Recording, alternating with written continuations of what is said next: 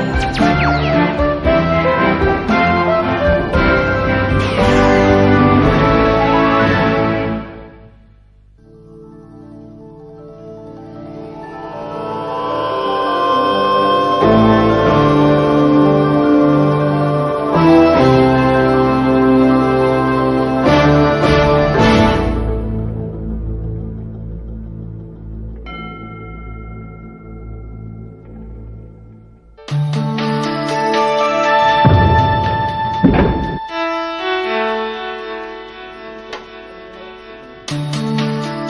目前为止，二三年人生也是，嗯，坎坎坷坷，曲曲折折，觉得我这一生中困难也很多，但是在困难中也是没有怎么低头过，也是最后慢慢的从逆境中走出来了。我当运动员的时候，我不能实现奥运梦想，在人生金牌的我能拿到吗？呃，当然我觉得我有信心。现在我想也同样可以通过自己的思维，通过自己的啊语言来继续。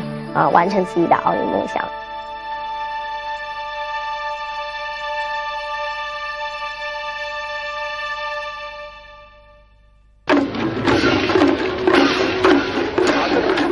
六月九号，雅典奥运会嘅圣火传送到北京。前国家体操运动员桑兰系有份负责传递火种嘅成员之一。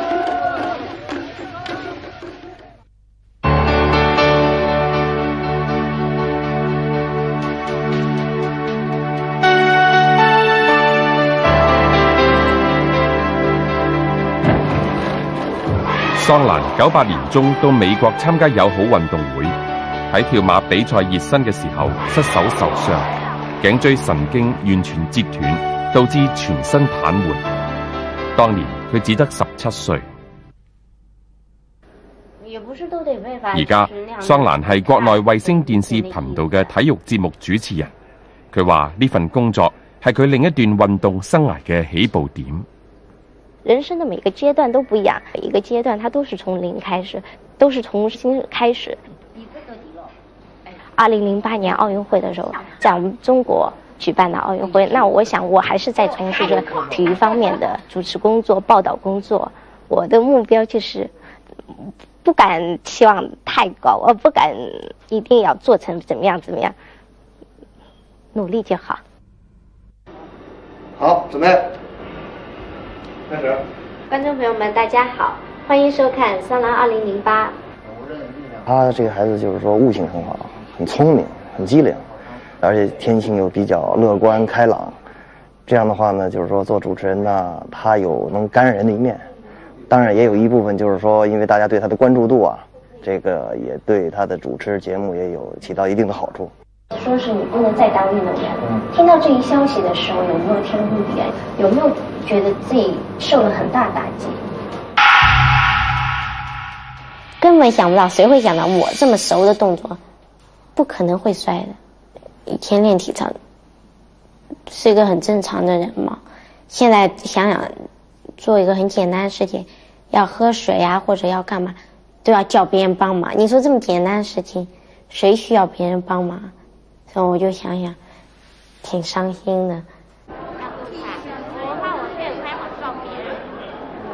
受伤之后，桑兰一直留喺美国治疗，期间由刘先生夫妇做监护人，义务照顾佢嘅起居生活。上次我就看见这个了，是吧？我刚才就说要个坐，但我没发现。要这个坐轮椅的芭比。我们从第一天见到他开始就觉得，呃，小孩很又可爱又可怜。动了手术时，医生说这个事情可能要终身残废，而且四肢瘫痪。这小孩有一种魅力啊！你见了他之后，跟他接触之后啊，就想帮助他。哎呀哎呀，啊，就是动作，就摔这个了啊！我现在看着自己在比赛吧，挺高兴的，挺高兴的，因为看到那时候，因为我原来电视上看不到的嘛。很多人他们受伤以后不愿意再看他过去的片段哈，会觉得伤心或者失落。他一开始就没有这种感受，他挺喜欢看，要求我们给他找这种片段给他看。因为他本身就是乐观的，就是他乐观的精神，就就是这样的。桑兰就是这样的。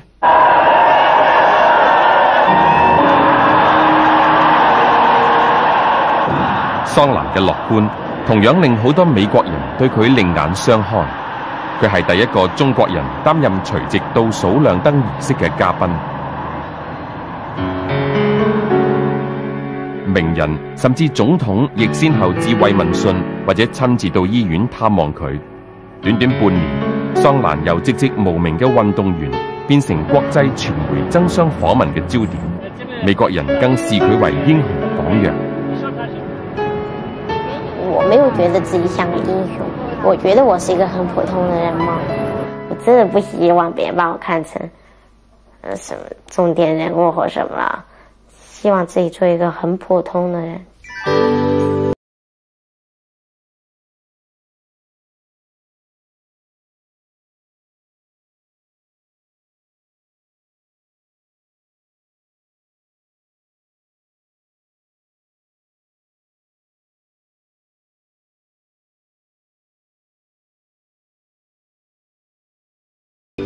受伤之後，桑蘭媽媽趕到美國照顧個女。佢話桑蘭性格倔強好勝，他從小就學體操啦，這麼苦，沒有得到的家庭的溫暖，沒有得到的母愛，他受傷了，一件很簡單的事都有麻煩人家，從來沒有在人家面前流過淚，他就是偷偷的哭，晚上的時候就偷偷哭。每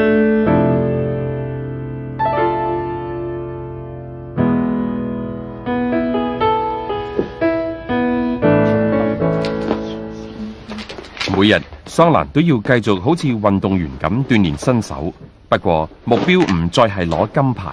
認真的做鍛煉康復對我也有好處，手臂肌肉會強壯，什麼東西都慢慢可以自己拿得動。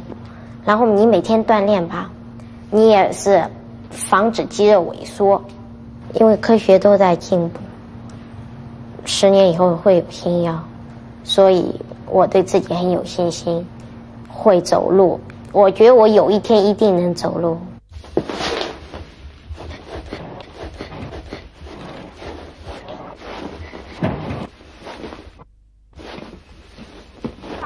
跌低再爬起身，系每一个运动员必须坚持嘅信念。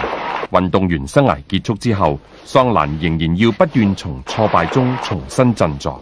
要爬不起来的时候，我有過放棄的那种感觉。原来是个体操运动员，这么难的動作跳馬，空中轉不還是落地这样，现在居然连个爬床都爬不起来，想有时候就说对比一下，是挺难受的。每个星期，桑兰都要返医院接受复康治疗。How are you? Good. Yeah. But you can can you put this hand here to hold you, and this hand to reach? No. I know put it. Uh, uh, uh. Mommy, you oh. Yeah. Pull, pull, pull. No, no help. 別幫我。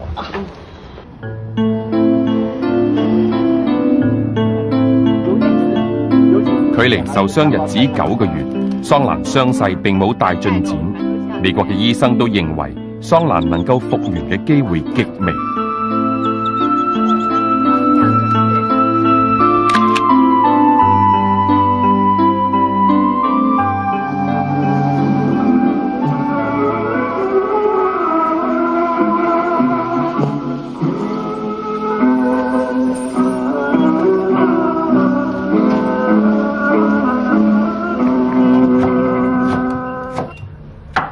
喺美國養傷近一年，桑蘭喺九九年五月回國，接受中醫治療同繼續完成學業。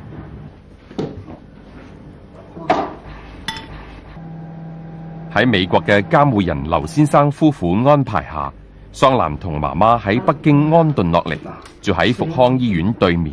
桑蘭爸爸仲由家鄉寧波嚟北京同佢哋一齊過年。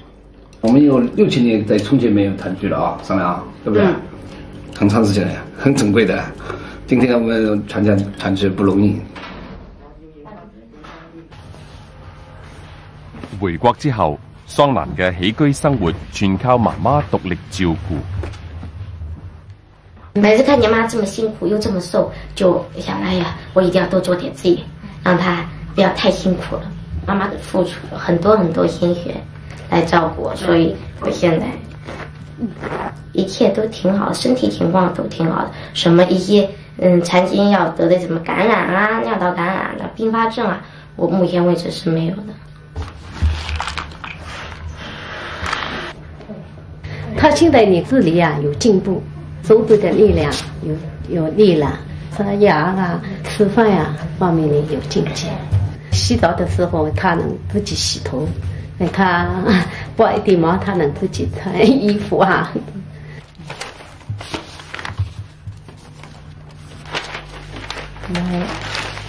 爸，你看，嗯，寫的。由美國翻北京頭一年，桑蘭先後收到千幾封嚟自國內國外嘅支持信。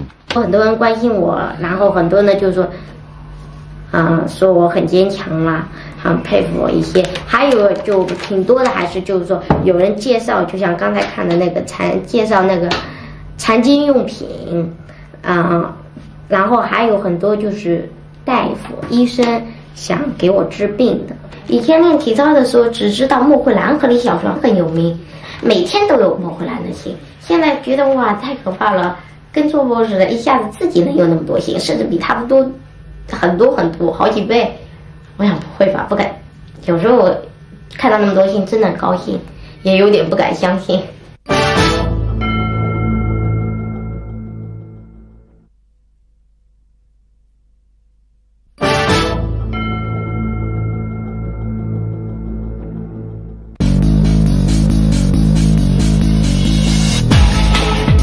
前国家体操运动员桑兰，九八年喺美國比賽期間受傷，導致身體癱瘓。不過回國之後，桑蘭一直堅持定時鍛煉身體，從不間斷。現在我覺得挺好的，每天鍛煉學習，我自己覺得好像是有點進步。像原來就是這個，這是叫三頭肌吧？這裡就是啊。但现在还是不好嘛，因为没有感觉。但原来好像觉得，呃，手再举高马上就掉下来，现在好像觉得好一点了。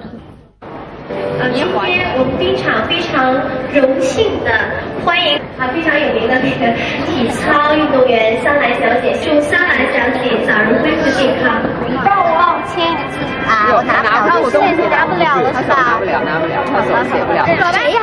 成为公众人物之後，桑蘭每次外出。都會引嚟不少關心或者好奇嘅目光，令佢既尷尬亦無奈。有一些殘疾人，人家也不會問了，很自由自在。像我出去，經常說這上來上來好嗎？我也知道大家很關心我，可是畢竟老出去，人家老追着你也是不舒服的嘛。過去桑蘭同父母長時間分隔兩地，彼此關係疏離。而家因為桑蘭受傷，反而令一家人关系拉翻近。我当然喜欢平淡的生活，安安静静，就像现在一样，每天锻炼、学习，然后和妈妈爸爸在一起，这样是最好的了。现在的我还是很乐观，要是不乐观的话，那每天肯定都是愁眉苦脸。因为我已经很早就已经接受这事实了，我就我就是残疾人。地方地地方地方差，完完全完全健康是吧？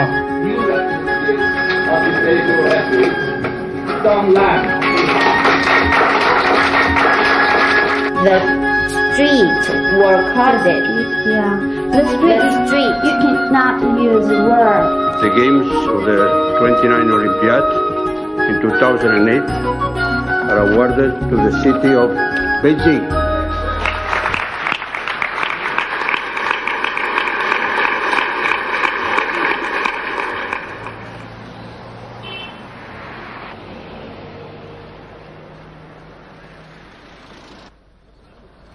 桑蘭喺零二年高中畢業後，北京大學破例免試取錄佢入讀新聞系。今年九月，桑蘭將會升上大學三年級。以前当运动员的时候，就是特别梦想能够有一天成为一名大学生。所以在通过电视的时候，看见大学生他们背书包、骑自行车，在那校园里面自由自在的，可以享受学习知识的这么一个氛围。当运动员的时候，没有太多的时间能够上文化课，更多的时间全部都是放在训练和比赛和为国家争得荣誉这些方面。所以真的是没有想到，把自己儿时的梦想。啊，也也实现了。看来，你终以为主以上就有这个这个，应该是什么？应该就是第七十六届奥斯卡颁奖典礼。好，我记得去去年中央六频道就啊转播过一次，今年应该是第二次。很多新闻是坐在观点上。运动员出身嘅桑兰话，受伤之后，自己要比其他同学付出更多努力。嚟完成四年嘅大学课程。像我有身体上的不方便，然后我的手写字也不方便。然后其实我们的基础不好，不像其他同学，他们可能记笔记很快，一下子就明白了什么的。我们过去都没有接触过，突然间就像一步登天似的，那那种难是可想而知了。我我我始终都是这样认为，就真的是一分耕耘一分收获。当运动员的时候都是这样的。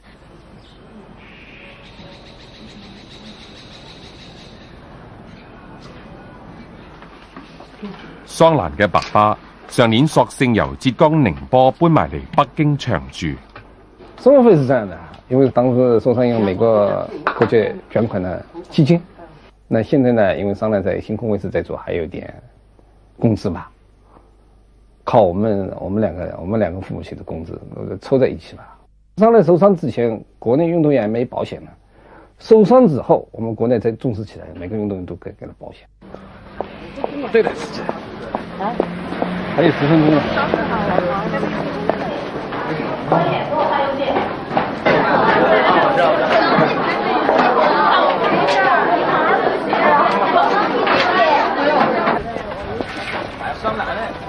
桑兰屋企离大学好远，为免佢周居劳顿，校方于是特别安排佢哋一家三口暂住教职员宿舍。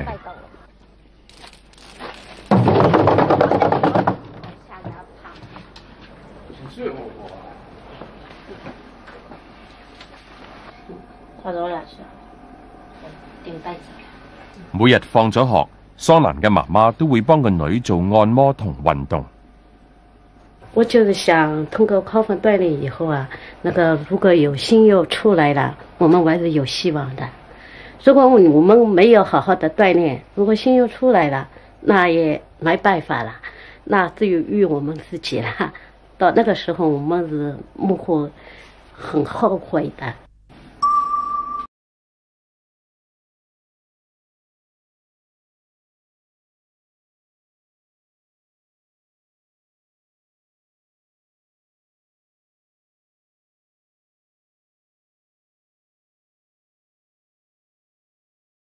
今天有采访？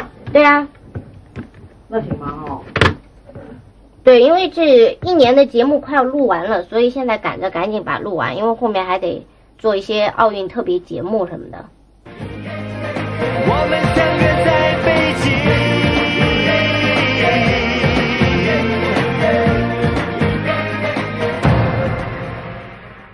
桑兰至今依然钟情于体操运动。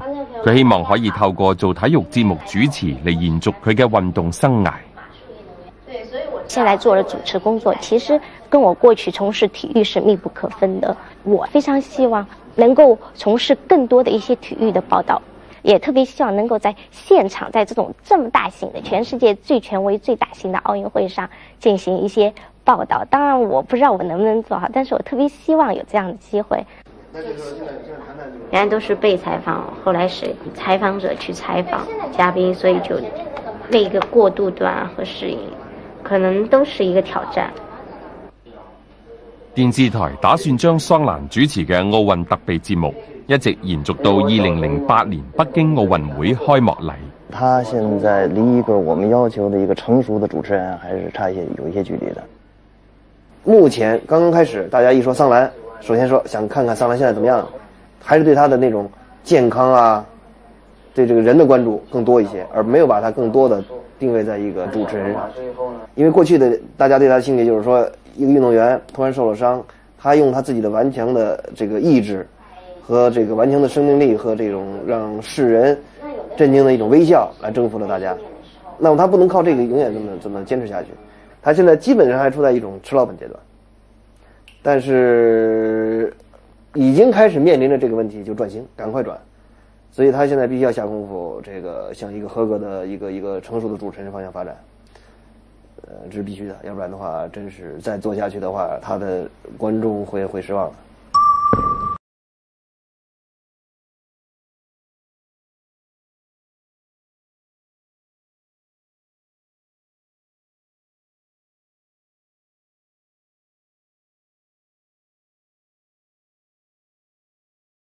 自觉半条生命都已经付出了，所承受过的一些艰辛，我觉得是常人难以理解的，没有亲身体会过，他是不知道的那种艰难。